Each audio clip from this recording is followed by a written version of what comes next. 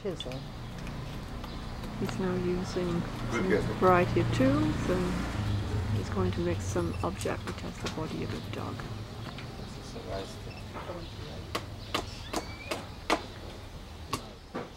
Para He's now marked the place for maybe the eye or the mouth. And he's chiseling out those parts.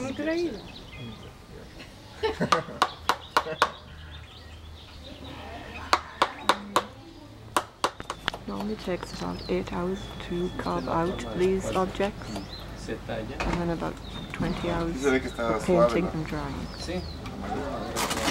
Today he's doing it Es como madera de el rapido so we can see the process. pero Carving or wood for masks or for yokes and uh, other in- instruments.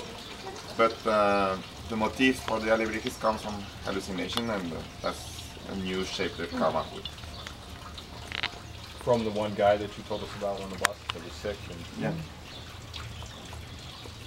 Wood party o cómo Wood party? Wood Putty, like a putty, putty, ajá.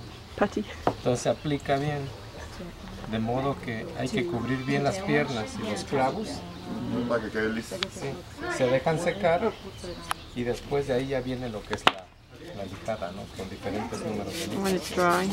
Okay, so he uses a, this wood putty to hide blemishes and Fill in the grain. fill in the grain and then he sands it all en el sol también para fijar las to make it smooth, ready for painting. Oh, so this is actually several pieces, and he puts uh, them all together. Uh, with this putty uh, also. So what we saw over here that he was Entonces ya después de este proceso viene lo que es este, la, la fondeada, ¿no? El color de base que, que aplicamos. Que bueno, ahorita vamos, este, tengo este color, pero vamos a utilizar otro, cualquier otro.